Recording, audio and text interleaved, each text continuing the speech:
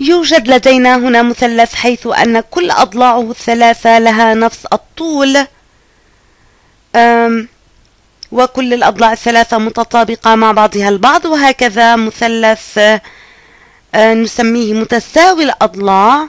هذا مثلث متساوي الأضلاع equilateral.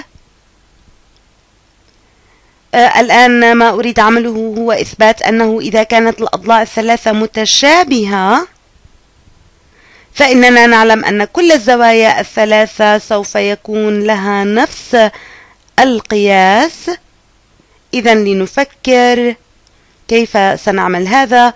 في البداية يمكننا أن ننظر إلى نعلم أن AB يساوي AC دعونا نتظاهر أننا لا نعلم أن هذا أيضا سوف يساوي BC ونحن نعلم أن في أنه في المثلث المتساوي الساقين إذا كانت الساقين لهما نفس الطول فإن زاويتي القاعدة لهما نفس القياس. دعونا نكتب ذلك. فنحن نعلم أن الزاوية ABC متطابقة مع الزاوية ACB دعوني فقط أكتب ذلك. نحن نعلم أن الزاوية ABC متطابقة مع الزاوية ACB وذلك لأن آه، ربما هذه هي العبارة هنا. آه، statement ثم لدينا المبرر reason.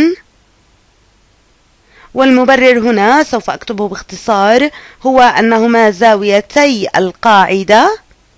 أعتقد تستطيع أن تقول لمتساوي الساقين لأننا نعلم أن هذا الضلع يساوي هذا الضلع ولكنه واضح أن هذا متساوي الأضلاع كل الأضلاع متساوية ولكن حقيقة أن هذان الساقان متساويان فإن زاويتي القاعدة متساويتان فنقول الساقان متساويان.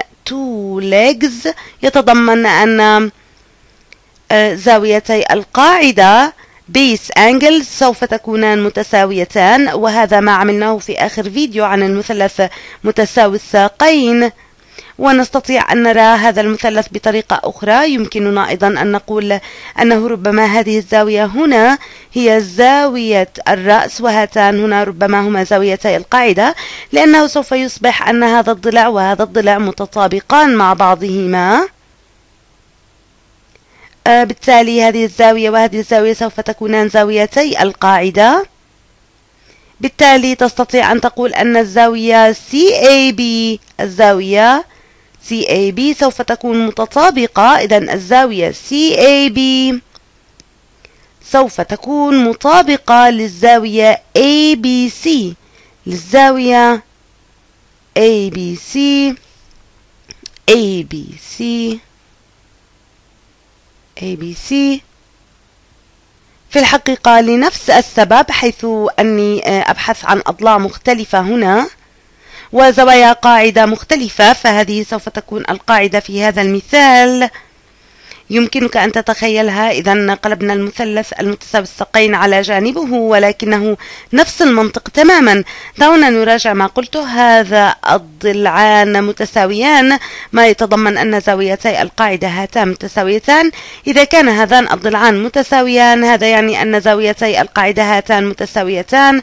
حسنا إذا كانت ABC متطابقة مع ACB ومع CAB بالتالي كل هذه الزوايا متطابقة مع بعضها البعض.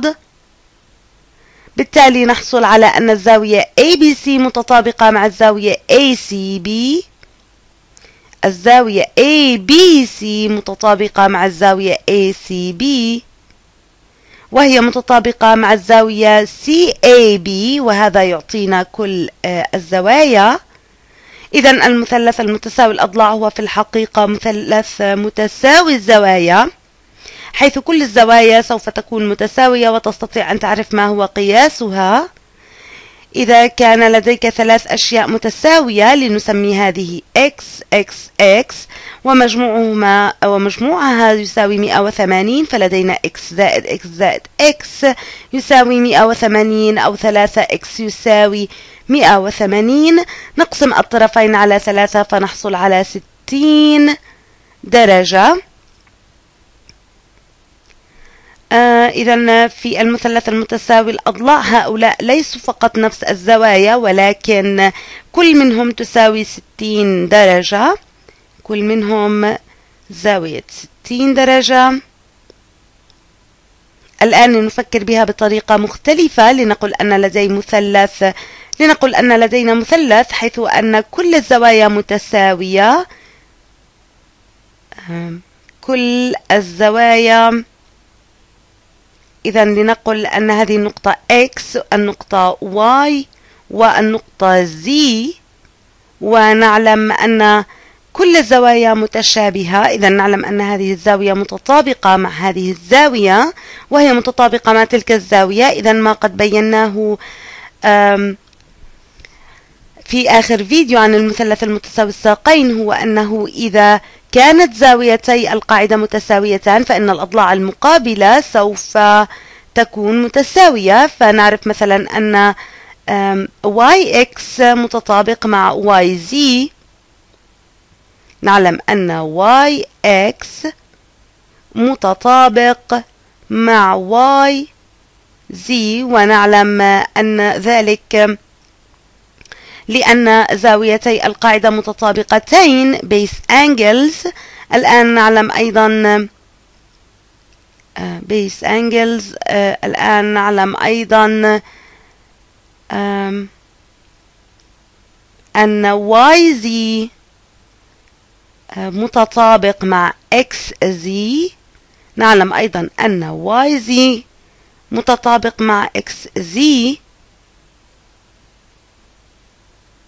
YZ متطابق مع XZ من خلال نفس المنطق ولكننا نتعامل مع زاويتي قاعدة مختلفتين. فالآن مرة أخرى يمكنك أن ترى هذا كمثلث متساوي الساقين مقلوب على جانبه. هذه زاوية الرأس هنا وهاتان زاويتي القاعدة فهذه هي القاعدة الآن. ونعلم ذلك لأن زاويتي القاعدة هاتان متطابقتان. إذا من خلال نفس المنطق في هذه الحالة الأولى زاوية القاعدة كانت هذه الزاوية وهذه الزاوية وفي الحالة الثانية هما هذه الزاوية وتلك الزاوية. دعوني أكتبها. زاويتي القاعدة في هذه الحالة الأولى سوف أعملها بنفس اللون الأرجواني.